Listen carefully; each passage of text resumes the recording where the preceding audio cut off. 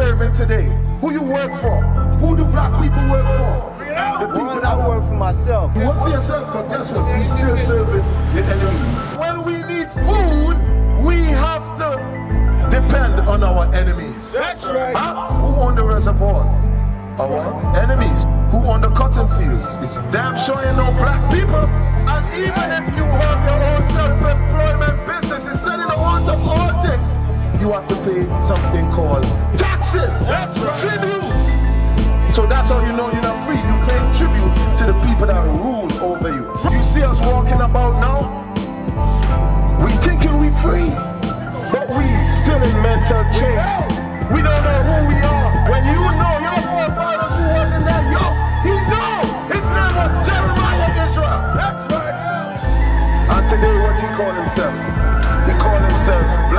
Republican.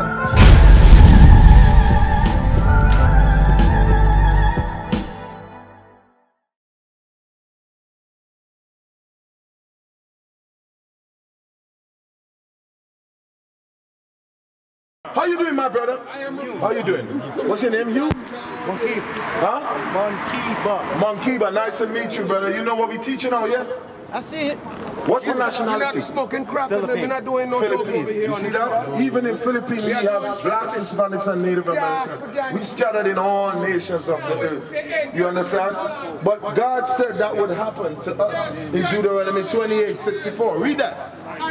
Deuteronomy chapter 28 and verse 64. Did you know God prophesied that our people are going to be scattered in slavery in the Philippines as well?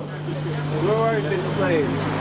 Huh? Our problem is we don't know how to take our mentality out of a slave's mentality and become men. Ah. We're too busy being dependent on these Europeans for good. welfare, for, for, for everything that they give us. Hey, I like you. Understand, we are black people. We That's run this planet. Come on. We allow them people to come in and 28, take us 48. apart. Come closer, I like you. I like you. No, no, I said enough. I gotta No, no, no, no, no, no, no, no. I'm gonna show you. God said something. You know why?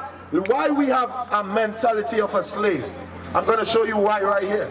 Deuteronomy 28 and 48. Come on. Deuteronomy chapter 28 verse 48. You know? Where is the beginning of us getting broken into that mindset? Right here. Read. Therefore shalt thou serve thy enemies. And this is a prophecy of what God said would happen to us, that we're gonna be mentally broken, right? And be thinking as slaves.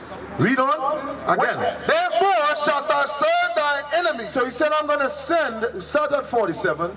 Because thou servest not the Lord thy God. He said, because you don't want to serve the God of the Bible. Today, we don't follow God according to how we're supposed to follow him.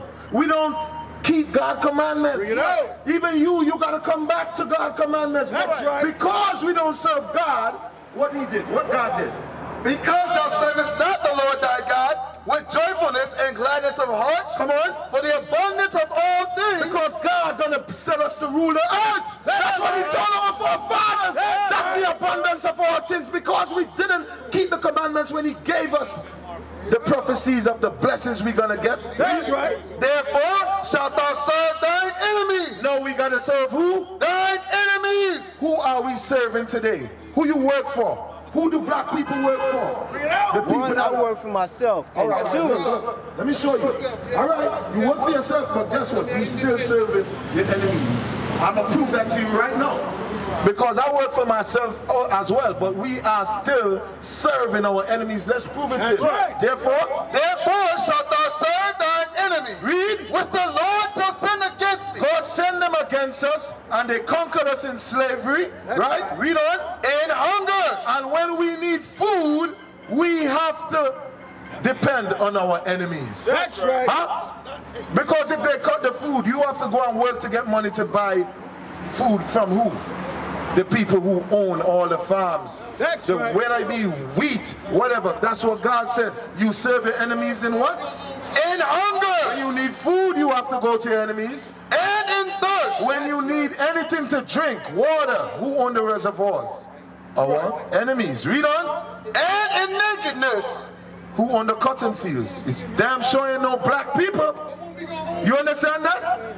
That's what God talking about. So you serving your enemies still. Read on. And in the want of all things. And even if you have your own self-employment business, instead in the want of all things, you have to pay something called taxes. That's right. Tribute.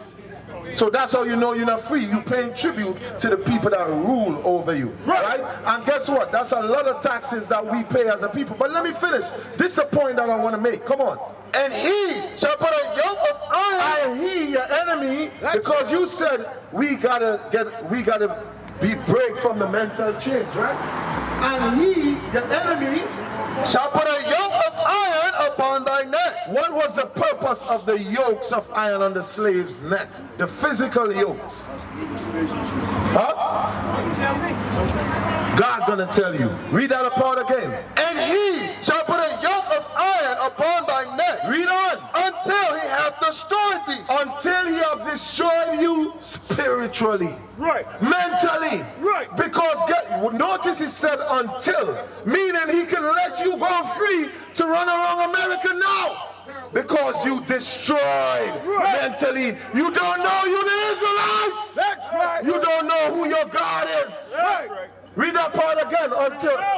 Until he hath destroyed thee. That's the proof. You see us walking about now? We thinking we free, but we still in mental chains. We don't know who we are. The yokes of iron was to destroy us from the knowledge of God, Right. from knowing who we are. Right. When you know your forefathers who was in that yoke, he know his name was Jeremiah Israel. That's right. And today what he call himself? He call himself Black Republican.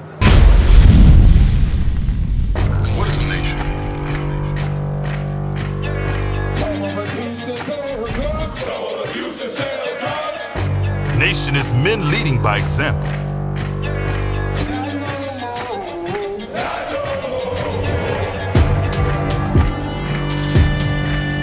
Nation is family.